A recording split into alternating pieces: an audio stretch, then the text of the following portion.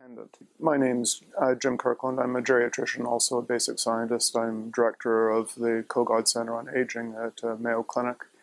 Uh, my interest is in uh, cellular senescence in particular, but uh, looking for um, drugs that will modulate fundamental aging processes in order to target age-related diseases as a group instead of one at a time. It's now possible in mice to extend health span and to delay onset of age-related chronic diseases by targeting fundamental aging processes. And one of these processes is cellular senescence. Senescent cells accumulate with increasing age in a variety of tissues. Uh, senescent cells also accumulate at the sites of age-related chronic diseases. For example, you find senescent cells in atherosclerotic plaques that lead to heart attacks and strokes. You find senescent cells around lesions in Alzheimer's disease. You find them near cancers. You find them in joints with osteoarthritis. Uh, you find them in fat tissue, the pancreas, um, the kidneys, and diabetes. So there's been an association noted between accumulation of senescent cells, aging, and development of age-related chronic diseases. Furthermore, interventions that increase lifespan, for example, uh, food restriction in experimental animals, or mutations that slow down the rate at which aging processes occur, are also associated with a decrease in accumulation of senescent cells. Senescent cells produce a variety of factors that cause dysfunction in neighboring cells and that also get into the circulation. So a very small number of senescent cells, because they produce a range of toxic factors that influence nearby cells and cells at a distance, can cause overall dysfunction. What we did a number of years back was to make animals from which we could selectively eliminate senescent cells using a genetic trick. We found these animals had increased health span, and this was these were rapidly aging animals though.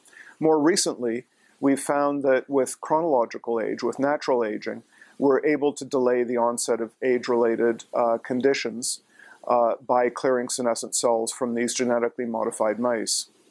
This year, or, or sorry, in 2015, we uh, discovered um, a class of drugs that we call senolytic drugs. These are drugs that selectively eliminate senescent cells in non-genetically modified individuals. So we uh, developed some uh, some of these drugs, gave them to uh, mice, and found that we were able to enhance cardiovascular function in old animals. We were able to delay uh, and uh, prevent radiation-induced damage because radiation is one of the things which can cause cellular senescence. And we found that we were able to delay frailty, neurologic dysfunction, osteoporosis, and other problems in mice with an accelerated aging-like state. More recently, we found that in older animals, um, we're able to uh, alleviate diabetes as well uh, by uh, using these drugs. And other drugs have since appeared based on the approach that we use for developing the first uh, senolytic agents. So next what we're contemplating doing is taking these to human trials to see if we can alleviate age-related uh, diseases. Targeting fundamental aging processes, including clearing senescent cells amongst other approaches, may be a way that we can add years to, um, we, we can add life to years and also um, uh, increase health span. We might increase lifespan as well, but that's would be a, a, side effect. You know, what we really want to do is is is increase health span, the period during which people um, are free of age-related chronic diseases. In addition to clearing senescent cells, other approaches have been developed that appear to extend health span in experimental animals.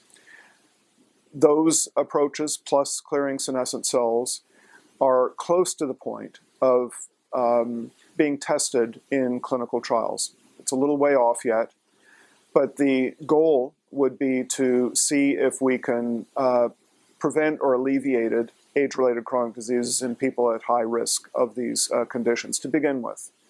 Maybe this might go further, I'm not sure, but the, the goal is to try to add a few months or a few years to health span uh, to people who are at risk of losing their independence. Needs to be tested in clinical trials. There's a long way to go yet.